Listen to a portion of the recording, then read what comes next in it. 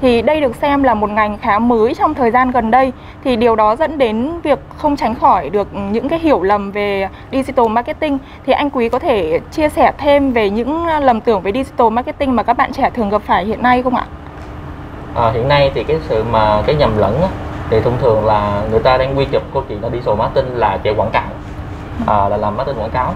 Thì như vậy thì nó chưa có đúng lắm. Nó đúng nhưng mà nó chưa đủ.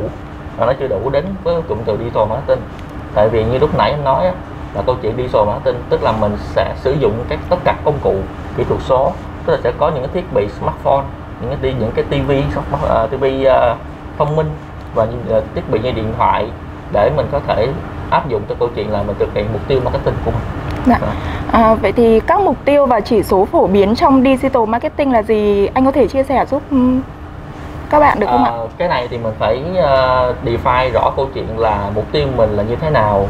Lúc đó mình sẽ có chỉ số để mình theo dõi. Ví dụ như là mình uh, mục tiêu của mình là mình để uh, làm nhận biết thương hiệu. Uh, thì cái chỉ số để mình theo dõi có thể là uh, bao nhiêu người biết đến thương hiệu của mình hoặc là uh, tiếp cận được bao nhiêu người lúc đó mình mới mình mình mới đánh giá được cái hiệu quả nó cho nó cho chính xác tại vì trong marketing rất là nhiều cái mục tiêu nhiều nhiều cái cái, cái objective cho nên mình phải uh, define rõ nên thì mình mới uh, xác định được cái hiệu quả của nó.